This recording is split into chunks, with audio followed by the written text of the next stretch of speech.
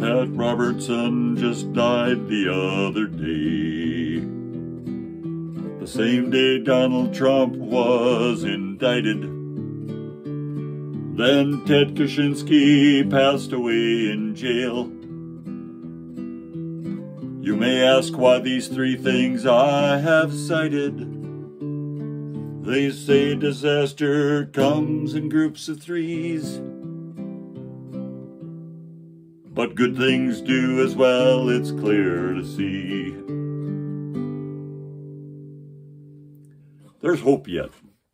Thanks for listening.